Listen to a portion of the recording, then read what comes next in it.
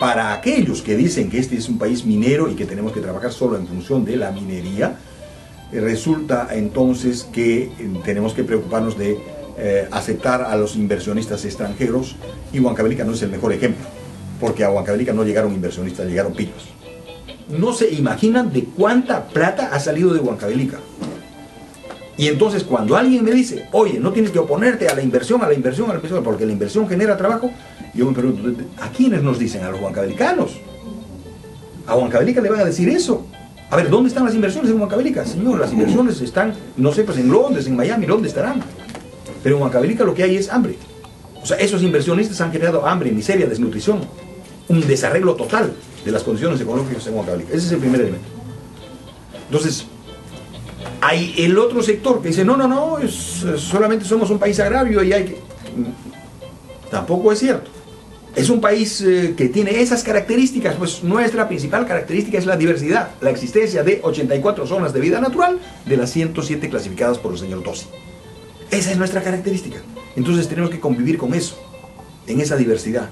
Por tanto, tenemos que fortalecer. Lo que tenemos que hacer es que las inversiones mineras primero sean limpias, no contaminen, pero que haya verdad tratamiento de verdad, que el Ministerio del Ambiente tenga control sobre, sobre esos temas, que efectivamente haya castigo. No puede ser que en genérico nos digan y la, eh, los que contaminan son los, son los mineros artesanales. Y las, las empresas ah, constituidas, establecidas, las formales, no contaminan. Mentira.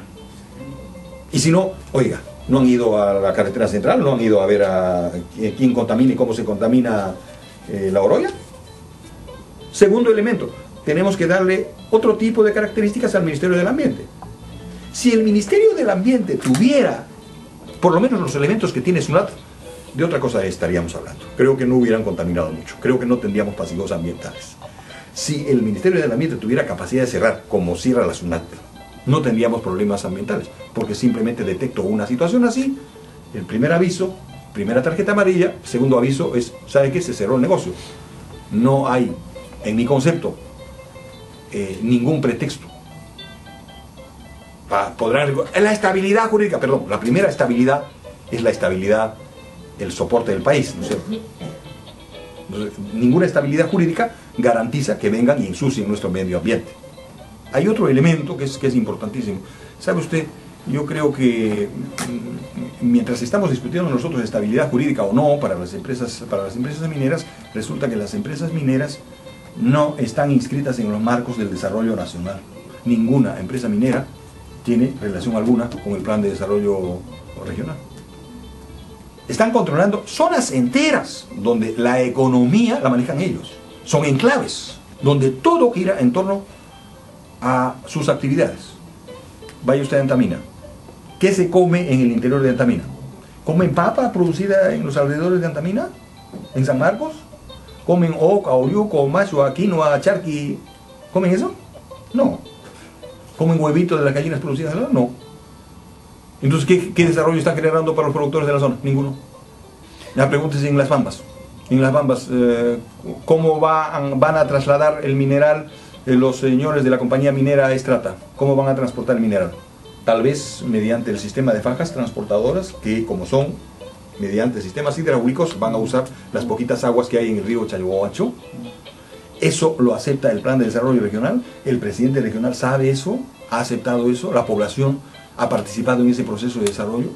¿O es que a cambio nos van a construir un sistema ferroviario o un sistema de transporte terrestre asfaltado para que podamos llevar también el queso, el oyuco, la papa, la machua y, la leche hacia otros departamentos y, y movilizarme con nuestros recursos?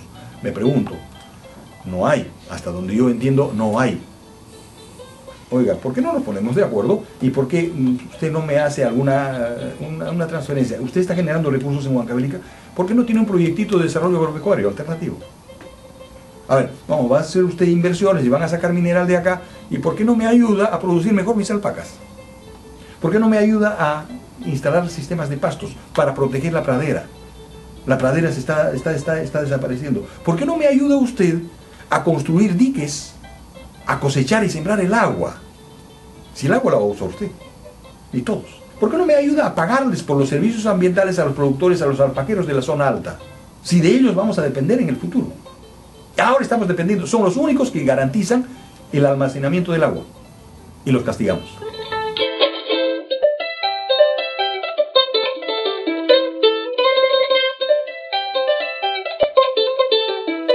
Podría sonar, ah, oye, ¿estás de acuerdo no estás? Primero, sí estoy de acuerdo. En términos genéricos, yo estoy de acuerdo con que las comunidades les consulten. Pero además, yo estoy de acuerdo con que los propietarios de los terrenos tenemos que ser propietarios también del subsuelo. Y entonces, como propietarios del subsuelo, le diremos alguna vez al inversionista, oye, esto no se vende, pero sí lo puedo alquilar. ¿Cómo ocurrió?